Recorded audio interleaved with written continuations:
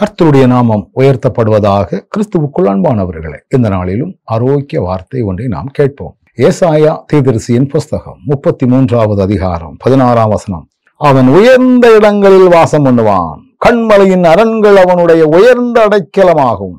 அவன் அப்பம் அவனுக்கு கொடுக்கப்படும். அவன் தண்ணீர் அவனுக்கு நிச்சயமாய் கிடைக்கும். என கண்பானவர்களே ஆண்டவர் நமக்கு தரக்கூடிய மிக ஆசீர்வாதமான ஒரு வார்த்தை என்ன அப்படின்னா உயர்ந்த இடங்களில் வாசம் பண்ணுவான்.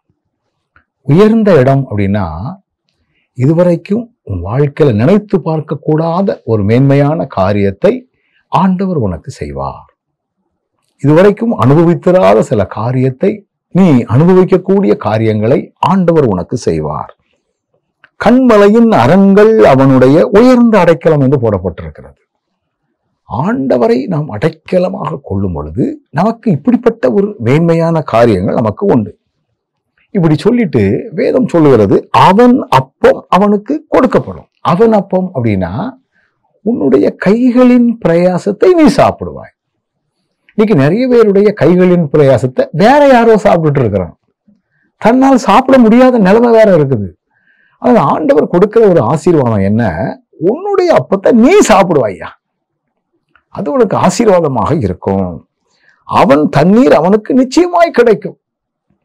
ஆண்டவர் இப்படியெல்லாம் நம்மை ஆசீர்வதிக்கிறவர். உயர்ந்த அடைக்கலம் நமக்கு உண்டு. உயர்ந்த இடத்தில் வாசம் பண்ணக்கூடிய வாய்ப்பு நமக்கு உண்டு. நம்முடைய அப்பமே நமக்கு கிடைக்கும். அவன் தண்ணீர் அவனுக்கு நிச்சயமாய் கிடைக்கும் என்று வசனம் சொல்லுகிறார். இப்படி ஆண்டவர் நம்மை உயர்ந்த நிலையிலே கொண்டு வருவதற்கு அவர் எடுக்கிற எல்லா முயற்சிகளுக்கும் நம்ம ஒத்துழைப்போம். நீதியாய் நடப்போம். செம்மையானவர்களை பேசுவோம்.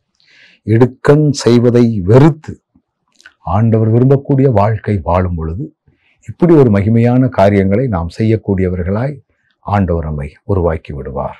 நல்ல ஆண்டவரே எங்களை நீர் உயர்ந்த இடக்கில் இடத்திலே வாசம் பண்ணுவதற்கும் உயர்ந்த அடைக்கலமான வாழ்வை தருவதற்கும் எங்கள் அப்பத்தை நாங்கள் உண்பதற்கும் நீர் எங்களுக்கு தரப்போகிற கிருபைக்காக நன்றி.